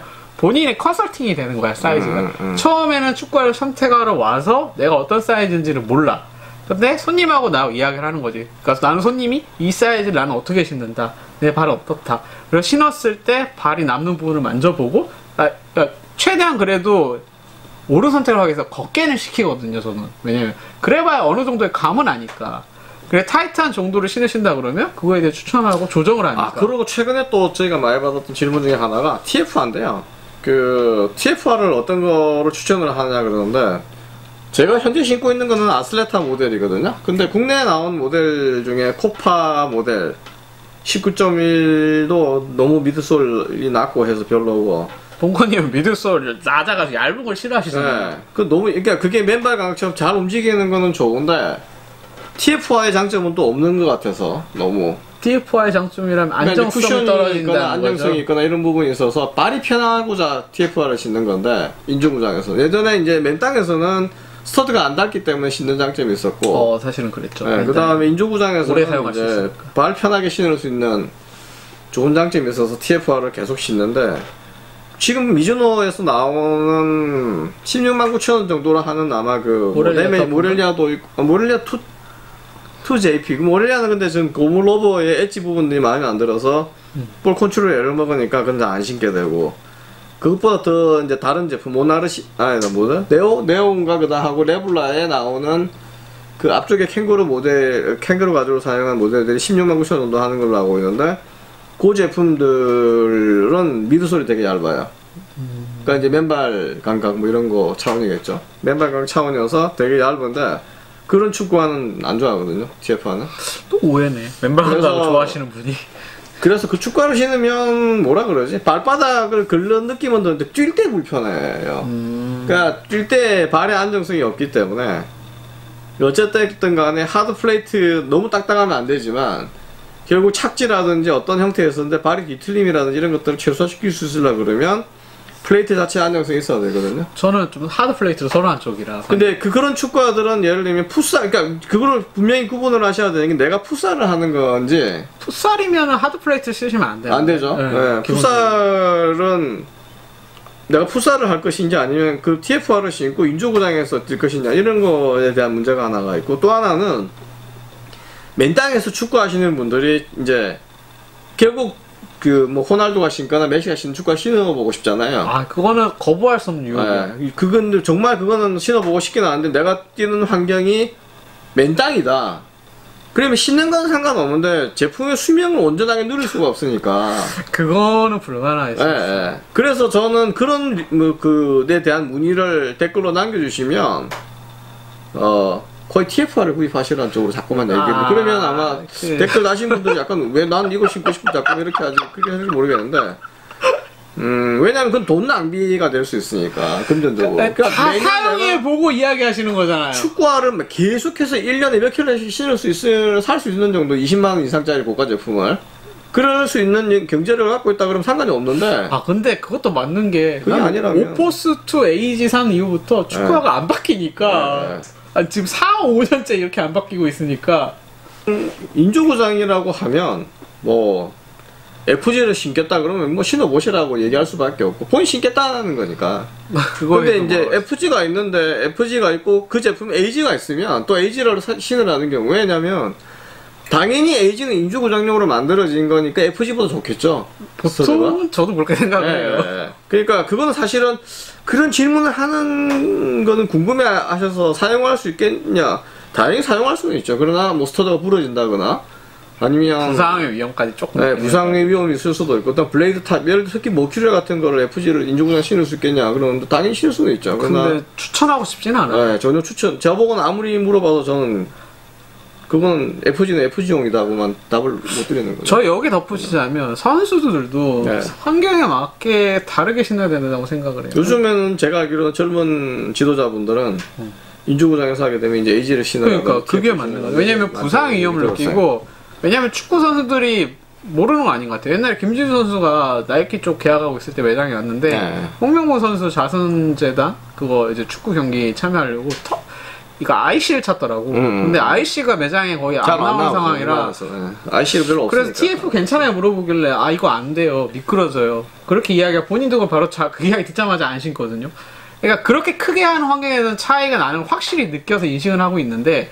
그러니까 FG하고 AG를 신을 때 인조잔디 사실 그때까지는 인식을 못 하고 있는데 최근에는 부상이나 이런 게 좀 많이 사례가 많잖아요 제가 알기로도 그런지 아마 십자인대 파열 그러니까. 부분은 인조구장이 오면서 급격히 늘어났지 않았을까 어, 통계적으로. 저도 그렇긴 해요 다치는 거의 인조군장이었고 인조구장에서 다치니까. 턴을 하다가 보통 축구화에 대한 그런 뭐 씹히는 부분이라고 해야 되나? 네. 그런 부분 때문에 훈님이 다치던 해 그, 그 해 같은 팀으로 같이 운동하던 친구 네 다섯 명이 다쳤죠? 다 어, 그랬던 1, 것 2년 같다. 사이로. 한 두세 명은 주변에서 많이 다쳤어요. 네. 그리고. 매장에서 일할 때도. 축구하셨던 분들, 손님분들에서 십자인 다쳤다고 네. 왔다. 그래서 과거에는 그렇게 흔하게 끊어지는 건 아니었는데 맨 맞긴 해요. 왜냐면 선수들이 많이 끊어진다고 알았기 때문에 제 기억에도 과거에 운동할 때는 그래서 사실 사이즈에 대한 문제는 저희가 말씀한 봉커님이 리뷰하신 분에서 아, 비교군을 많이 이야기를 해드려서 선택의 폭을 줄일 수 있게 조언을 드리지만 단순하게 사이즈가 잘 맞다 그래서 좋은 축구가 아니어서 더 진짜 어려워요. 네. 사보고 나서 최근 몇 년 전까지도 뭐 저도 이렇게 뭐 리뷰를 한다고 지금 이런저런 얘기를 하고 있긴 하지만 사도 안 맞는 축구화도 그러니까 치- 안 맞으면 저처럼 수집을 하면 그만이니까. 그거 뭐냐 그 뭐냐. 이니에스타 축구와도 안 맞다고 아, 그랬잖아요. 억지로 억지로 신는데 최근에 그래서 다시 네. 어 1월 1일 날이었나? 1월 1일 빨간 날 거? 나왔는데 아니, 아니, 아. 빨간 거 말고 기존에 있던 거를 신었는데 아 신다가 네메시스를 신다가 다시 울트레자를 신어본 거예요. 예.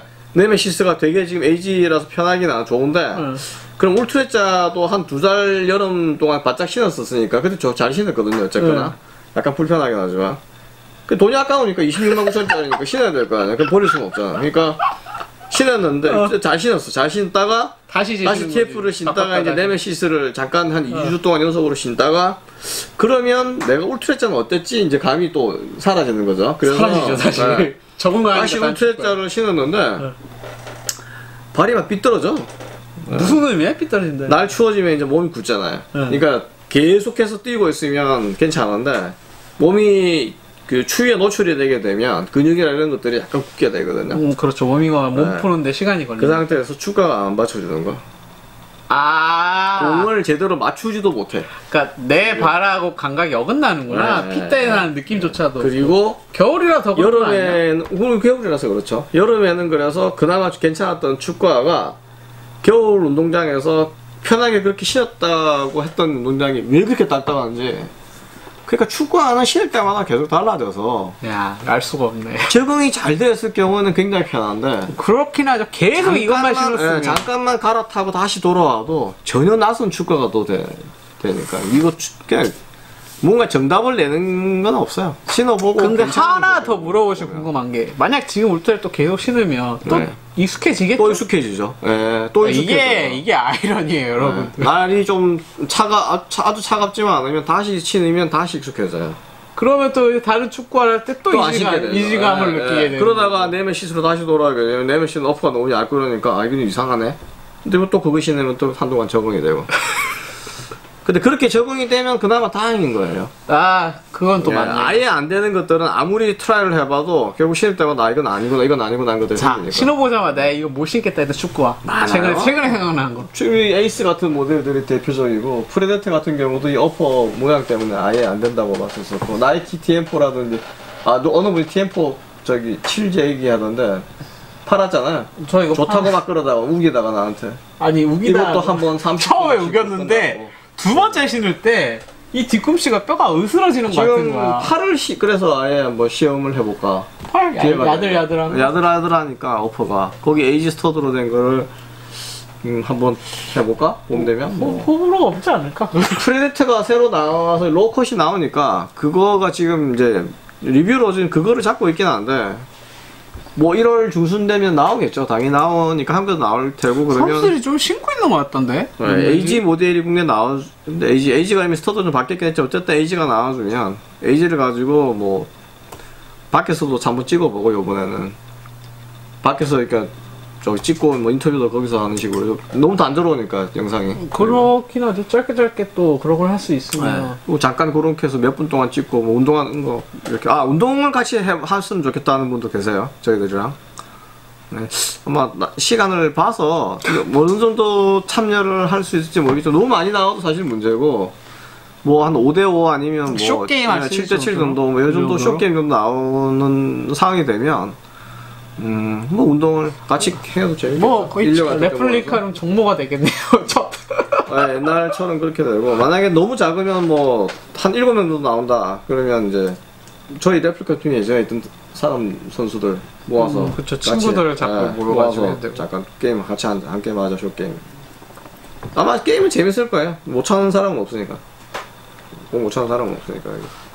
그래서 뭐 다시금 말씀드리자면 사이드에 대한 이런 것들을 뭐 많이 말씀해 주시는데 그러니까 구입하시는 입장에서는 저는 그거라고 아, 아, 아. 데스포르치. 아 데스포르치 아, 어느 분이 데스포르치가 그 저희가 데스포르치 일본 제품이다 그랬더니 브라질 제품이다 이렇게 댓글을 남기신 분이 계셔서 그러니까 제가 만들었던 영상에 예, 예, 예. 그래서 말씀을 일단 제가 드리자면 네. 제가 그 영상을 만들 때 일본 JP 데스포르치홈 사이트 가서 거기에 있는 연역을 번역해서 봤을 때 예, 예, 예. 어, 창립자가 일본 사람이에요. 창립자가 일본 사람이기도 하고 일본에서 만들어 일본에서 만들어가 맞고 네. 거기에서 계속적으로 하고 단지 브라질 브랜드라고 오해하시는 부분이 풋살에서 영향이 있는 신들의 선수들이 이제 브라질, 뭐 스페인 이런 쪽으로 뭐 아마 유명한 선수들이 것도 있겠죠. 왜냐면 뭐 브라질 브랜드 아슬레타 시그니처 모델이 나오더라고. 예, 브라질 브랜드고 핀타도 있고 음. 토포도 있고 뭐 일본에 들어가 있는 것들 브라질에서도는 약간 인- 뭐 나이키 브라질도 마찬가지로 나이키 아디다스가 절대적이고 지금은 맞아요. 이제 다 예전에 그 있어. 유명했던 뭐 토프라든지 핀타라든지 뭐 페널티 이런 페널티라든지 이런 것들은 아직도 브라질에 남아 있긴 한데 브랜드가 실제로는 이제 오히려 어쩌면 일본에서 그게 좀 일본 사람 특수성인 것 같아요. 네, 일본 그러니까 사람들이 이제 그 브라질 축구에 대한 뭐라- 로망 때문에 이제 일- 그 브랜드들 들여와서 그 브라질 이름 그대로 사용하는데 그것도 있고 그 또- 틈새를 노린 게 데스포르치라는 네, 또 뭐냐면, 그러니까 스포츠 트레이닝 의류를 보시면 아시겠지만, 일본 같은 경우는 여러 가지 브랜드가 다양 하게 나와요. 칼라, 많이 나오죠. 입체감부터 하고, 스타일부터 해서. 한국하고는 천차만별이거든요. 그러니까 나이키, 아디다스가 신발을 물론 많이 팔지만, 일본에 내가 느끼기에, 그 트레이닝 그러니까 풋살을 하는 축구 인구 자체 한국이랑 비교가 안 되기 때문에. 알아요. 네, 그런 부분에서 아, 여러분들이 생각하시는 부분에 대해서 일본에 들어가 있는 그런 많은 브랜드들이 물론 브라질에서 가져오긴 하지만 일본 업체들이 라이센스를 가져와서 네. 일본화처럼 돼 있는 것도 이 많아서 데스포르치는 일본 브랜드인데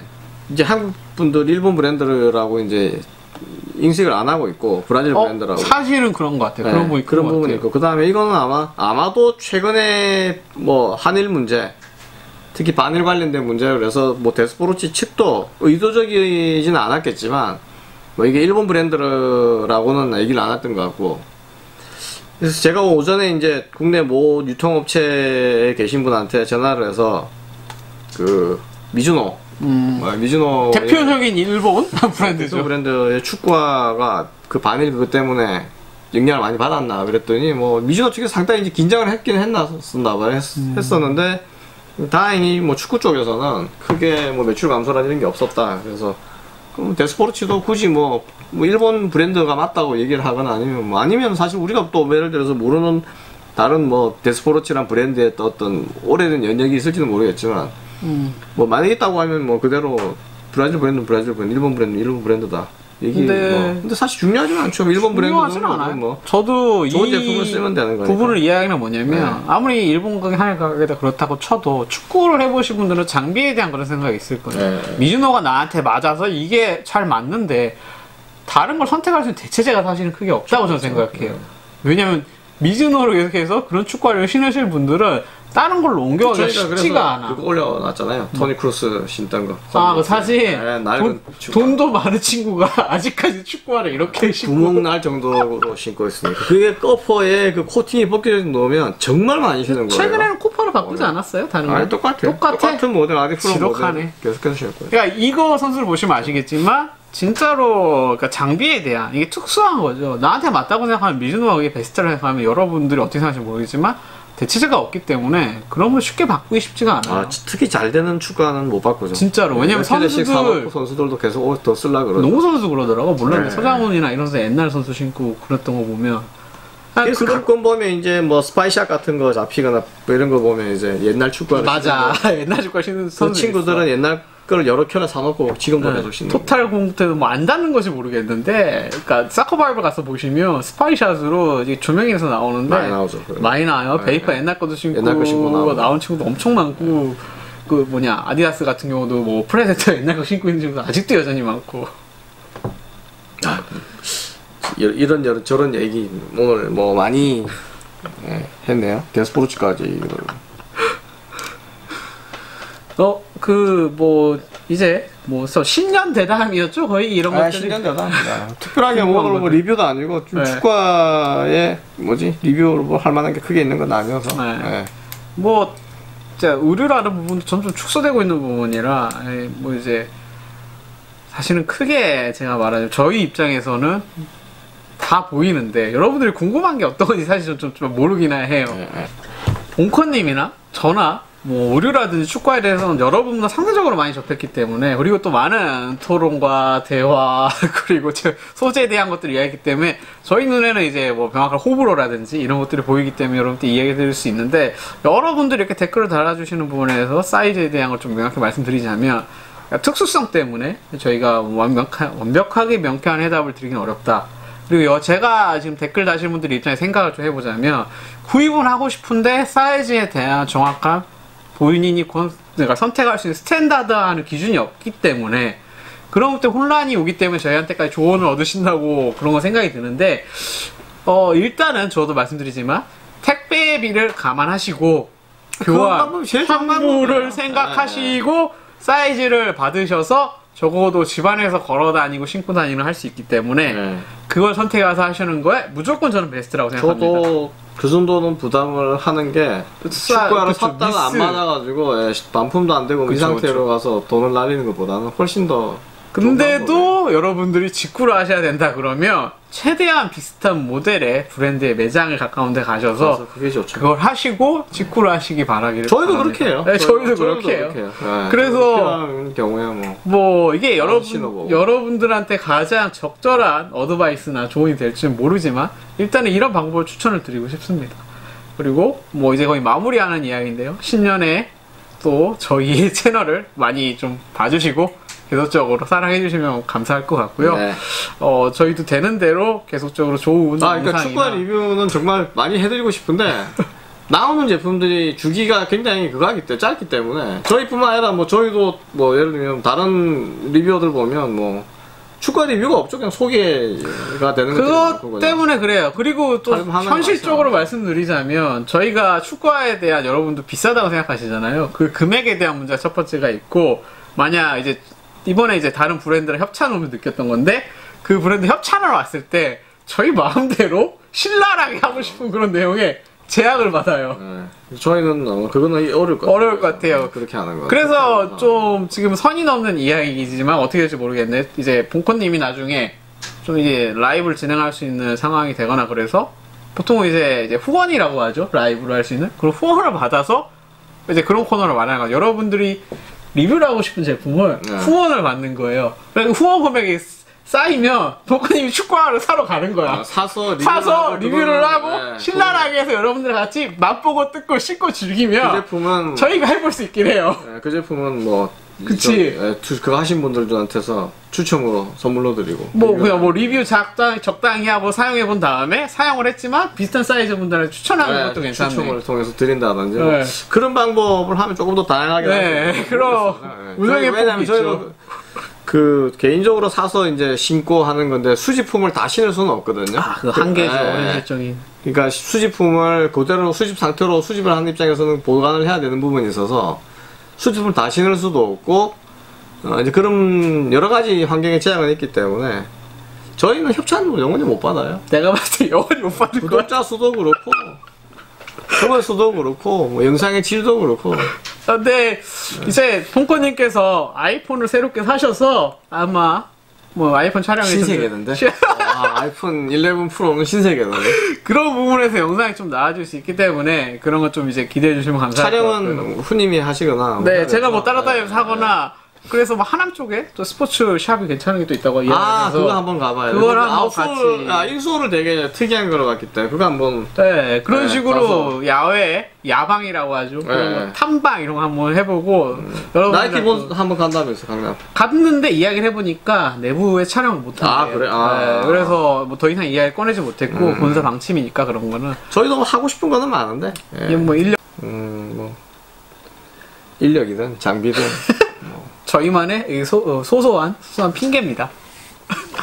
아 이거 원래 이게 아마추어들 우리 스카치 취미로 이런 유튜브를 만드는 사람들이 할 수 있는 고민이기도 하고 예.